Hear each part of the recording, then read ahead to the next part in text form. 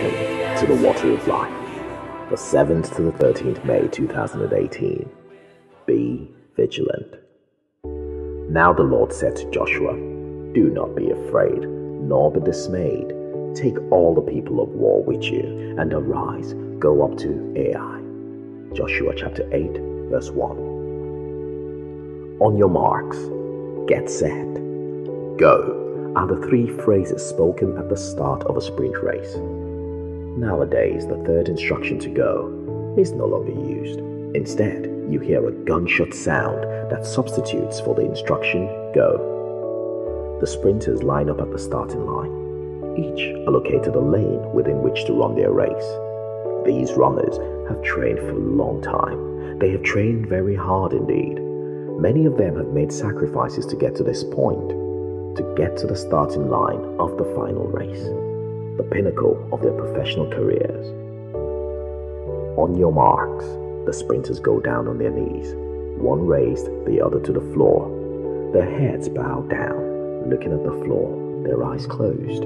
Their backs are arched, fingers on the starting line. Slow, steady breathing. I imagine at this point, a thousand thoughts are running through their minds many of them rapidly filtered out to concentrate on those instructions they have received from their coaches, all the training tips and practice over the years.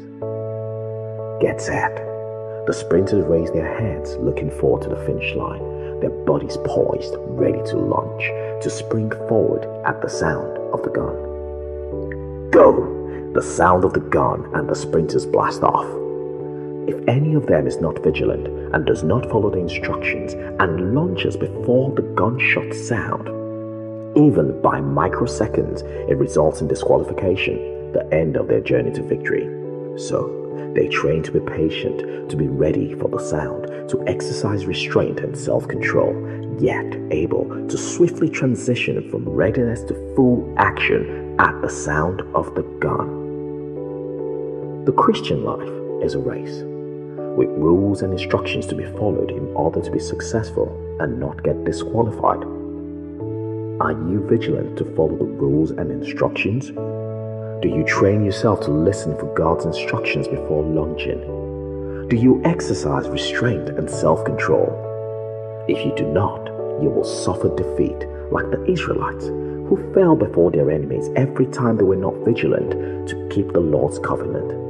Even little ones like Ai defeated them. When you are vigilant in keeping God's instructions, you remain established in God's victory. Consider these things and let us pray. Dear Lord, help me to be vigilant, to heed your instructions, and live a fruitful Christian life. In Jesus' name I pray. Amen. Read on in this week's Water of Life Digest and be blessed.